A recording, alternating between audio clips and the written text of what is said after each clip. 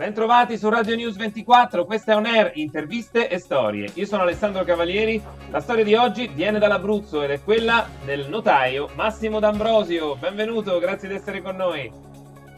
Grazie e buongiorno, benvenuti a voi. Allora, sappiamo che i notai vengono coinvolti in tantissime attività. Diciamo che la, la pratica notarile sì. serve praticamente per qualsiasi cosa in Italia. Oggi però parliamo di un aspetto particolare, quello dell'accettazione tacita.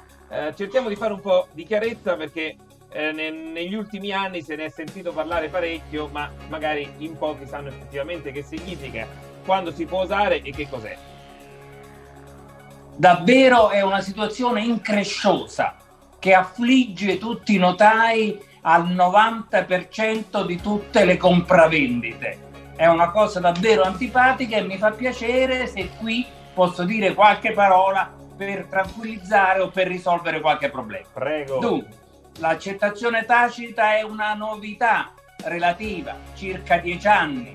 Prima, per sempre, il codice del 1865, il codice del 1942 riteneva sufficiente la dichiarazione di successione quando c'era uno spostamento ereditario. E quindi il notaio se doveva vendere un bene caduto in successione controllava la successione, vedeva se era a posto, se era sbagliata, la integrava per carità, procedeva alla vendita e i venditori uscivano felici e contenti con il prezzo ricavato dalla vendita. Adesso no, nuova giurisprudenza, nuove interpretazioni della legge, si è detto obbligatoriamente dalla Cassazione, dal legislatore e dal Consiglio nazionale del notariato che si è accodato con una sua uh, um, direttiva disciplinare generale che la dichiarazione di successione non serve per il trasferimento dei beni, ha solo valore fiscale di bravi cittadini pagatori delle tasse.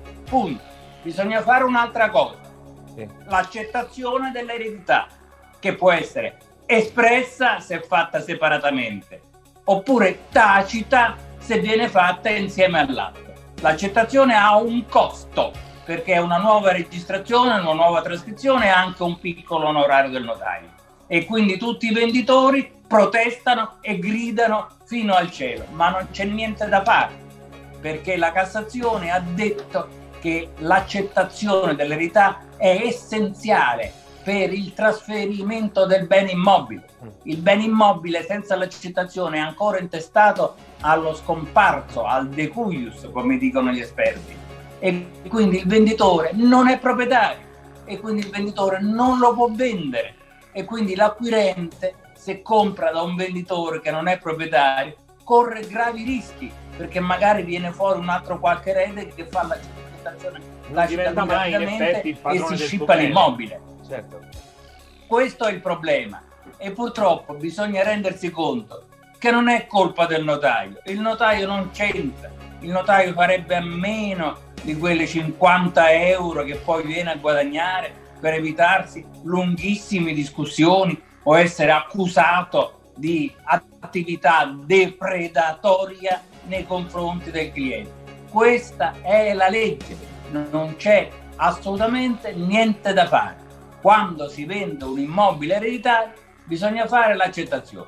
Se ci sono tanti immobili, il notaio suggerisce di fare un'accettazione espressa, cioè un atto prima parte, che costa un po' di più dell'accettazione tacita, però può ricomprendere un'infinità di immobili, mentre invece se si fa un'accettazione tacita per ogni immobile che si vende, la somma totale è più elevata di un'accettazione espressa questo purtroppo è il problema e non c'è assolutamente niente da fare, salvo, salvo qualche caso raro in cui l'acquirente accetta il rischio. Mi fido, voglio rischiare di perdere l'immobile e ti esonero dall'accettazione tacita. Il notaio lo dice, l'avverte, lo mette nell'atto e sono fatti loro. Naturalmente poi se l'acquirente acquista perché deve fare un mutuo, la banca non sarà certo così disponibile a rischiare l'ipoteca e a rischiare tutti i soldi per non far pagare l'accettazione tacita al venditore, ma questa è tutta un'altra, un'altra questione. Questo è il problema dell'accettazione tacita che vorrei che tutti gli ascoltatori capissero benissimo. Io ho pubblicato sul mio blog un lungo articolo noioso con tutti i riferimenti di carattere Guardi, normativo. Questa, questa chiacchierata non è noiosa, quindi deduco che anche il suo articolo non lo sia.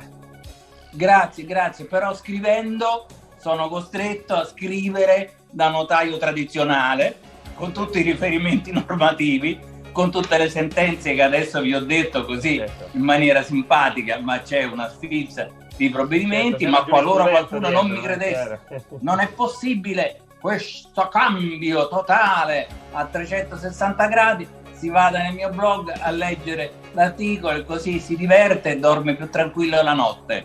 Qual è il suo blog? Dove lo troviamo? Io ho un blog di grande successo, sono, mi compiaccio di essere il notaio più cliccato del web, Ah, che si chiama blog del notaio Massimo D'Ambrosio, dove ci sono 500 miei iscritti e ho 7000 lettori al giorno, tutti i santi giorni, eccetto di domenica e Natale, che Ah, giustamente beh, certo, magari uno sta con la famiglia. Senta, c'è anche un sito, quindi un Facebook eh, dove possiamo trovarla?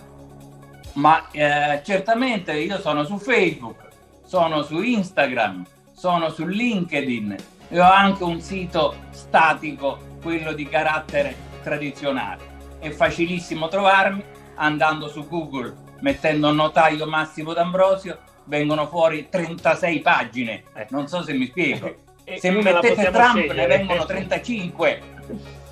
Vero. Invece in Abruzzo dove la troviamo? In Abruzzo io sono a Pescara, Eh. il mio ufficio principale è Pescara di fronte al tribunale, anche qui è facilissimo arrivarsi tramite le indicazioni del, del blog dei miei vari siti, però naturalmente stipulo in in tutto l'Abruzzo, vado in tutto l'Abruzzo Certo. perché la mia competenza è abruzzese. Anzi, aggiungo una cosa, Sì. i notai hanno competenza in tutto il mondo. La competenza dei notai è un po' particolare, cioè sono loro che non si possono spostare, mentre un avvocato, un, me- un medico che si trova in Liguria in vacanza, c'è un incidente d'auto, interviene e può legittimamente aiutare la vittima Certo. perché è medico anche lì, il notaio no.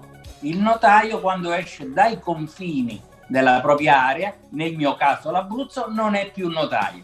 Però all'interno della propria area può fare compravendite e atti per tutto il mondo.